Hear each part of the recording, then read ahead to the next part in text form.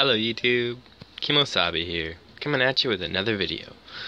This is off a webpage, Time Colonist, and this is uh, saying, Kayakers are disturbing orcas, new study finds, read up by Lynda V. Maples, off the Seattle Times, published January 4th, 2018, 4.50 a.m.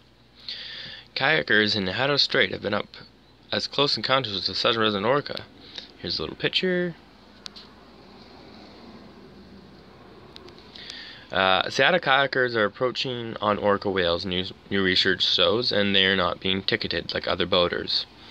Uh, pub- a paper published recently in the scientific journal PLOS One finds kayakers are a fast growing segment of the 50 million U.S. whale watching uh, industry, which brings at least half a million people out every year, 500,000, to the transboundary waters of the Salish Sea according to estimates by whale museum in Friday Harbor.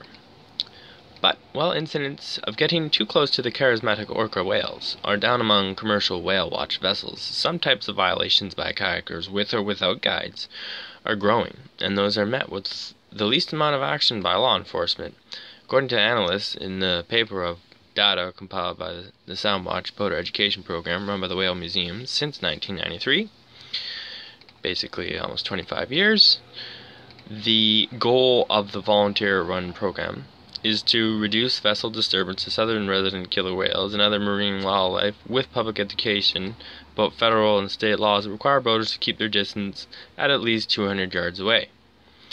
What we have seen is kayak incidents are increasing because they are of a lower priority from an, enfor- from an enforcement standpoint because there are so many other things going on in the water that need to be addressed, said Elizabeth Seely, lead author on the paper. Some kayakers are not abiding by the laws, paddling out to the killer whales to get closer to them. It is really upsetting to see, and they don't have any consequences for it. It's not a small factor.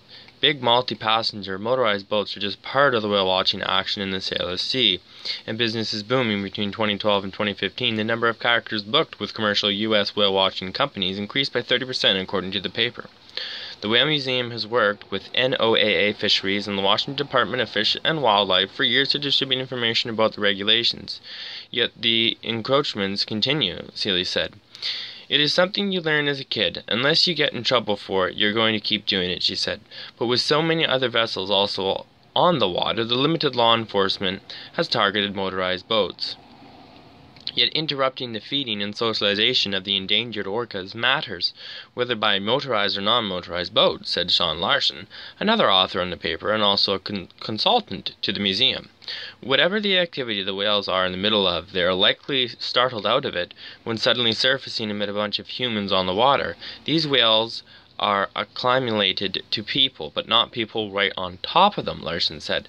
The whales in the JK and L pods are called southern residents and are critically endangered distinct population down to only 76 members. Reducing stress on the whales is important for to uh, for their survival, multiple research findings have documented. According to data compiled by the center, the J-pod whales, which historically spend more time in their core summer habitat than either K or L-pod whales, spent only 22 days in their core summer habitat, including the west side of San Juan Island, from June to September of 2017. That compared with 66 days in the same period in 2016. Appearances by whales from all three pods totaled only 36 days in the Southern Residence Core habitat in 2017, compared with 75 in 2016. Balcomb said, meanwhile, transient orcas, which eat marine uh, mammals, are booming in population and often seen.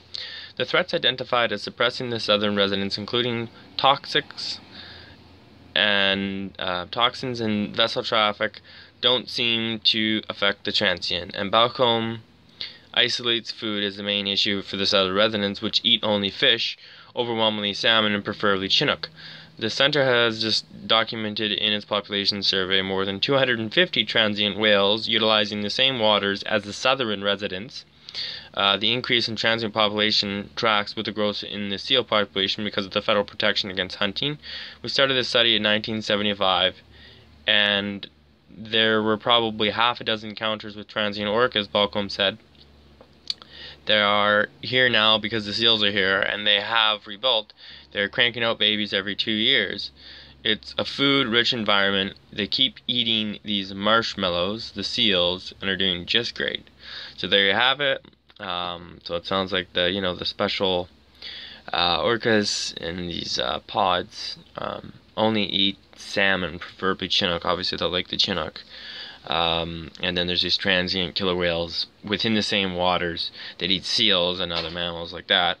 Um, which would probably be kind of stressful if there's only like 70 something of you and 200 and something of them, which is more than double. So, yeah, interesting. See what you think. Um, consider commenting, sharing, subscribing. Have a good one. Kemo Sabi out. We'll see you in the next one.